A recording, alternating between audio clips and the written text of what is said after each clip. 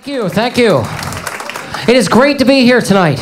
It is great to be here tonight uh, because basically I'm married, I got the family, and I don't really get to do anything anymore with opinions or decisions or whatever. I mean, I have no time basically uh, with the wife and the kids, the job, the chores, the family, in laws, one friend. It's, uh, uh, something's got to go, right? I mean, something's got to shit, man. I ain't got time to shit, man. I don't. Basically, if my wife came up to me and admitted to having an affair, I'd be like, "Where'd you get the time to have an affair? I don't have time to have an affair. That that's not a fair, you know." And don't get me wrong. I mean, I love I love family life. It's just very time consuming. Uh, you know, I, I love my family. One because you got to say that. Uh,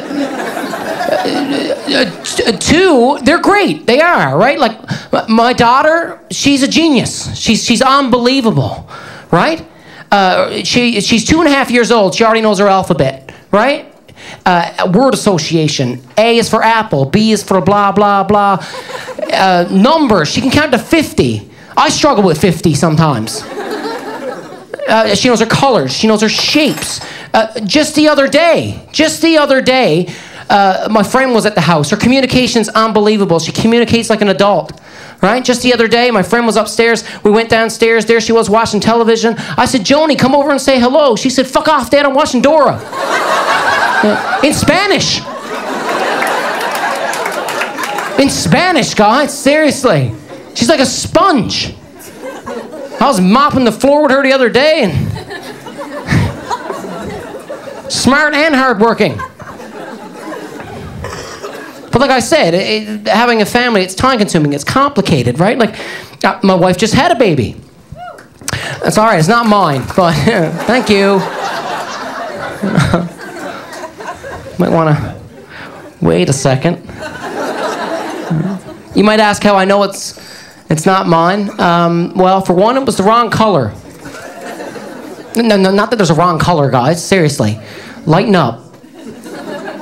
I mean, don't think I'm a racist, please. Don't. That's not good. Wise comic once told me that you shouldn't make jokes about the three hours of comedy. You don't make jokes about race. You don't make jokes about rape. And you don't make jokes about arithmetic. It's not funny. But in my opinion, words are just words. Anybody else out there feel the same way? I mean, words are just words. It's the intention behind words that's the problem. You know, I think about the N word, for example. Newfie. Yeah, I'm a Newfoundlander. I'm a proud Newfoundlander. I am.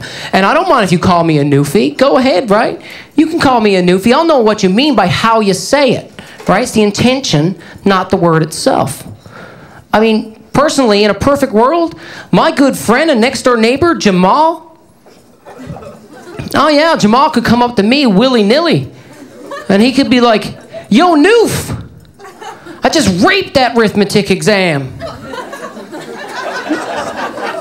And I could freely respond with, Damn, neighbor. My kid looks just like you. You know? we could talk about stuff, get it all out there. My boy's a big boy. He is. My little boy, yeah. He's so big, we're, we're already in the same size onesie.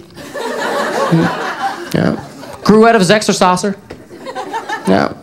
I mean, my, my, my baby boy's so big, he's definitely not mine. I know it for a fact, right? That's my set, guys. You guys are beautiful. Thank you very much.